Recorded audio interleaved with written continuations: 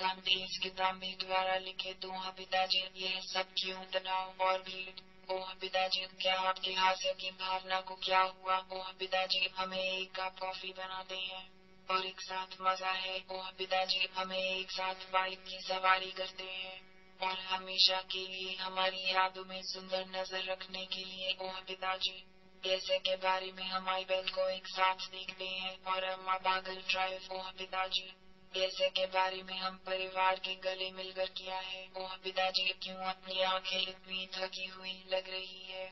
تم کمپیوٹروں کی بات کے لیے انتظار کر سکتے ہیں۔ وہ پتا جی ہمیں ایک دوسرے سے سیکھ دینا بات کر بحث، چرچا کر ایک دوسرے سے پوچھتا۔ وہ پتا جی یاد رکھنا آپ کو سکھایا ہمیں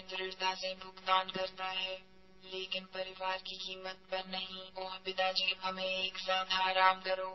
اور شوقین یادیں رکھنے کے لیے، ہمیں ہمیشہ کے لیے یاد کرنے کے لیے، اوہ پتا جی اوہ پتا جی ہم کبھی اپنے بلیدان بھول جائے گا۔ اور آپ ہمیشہ کے لیے پیار کریں گے۔ یہ ایک سبھی کڑی محنت سے کام پتا جی کے دنیا بھر کے لیے ہے۔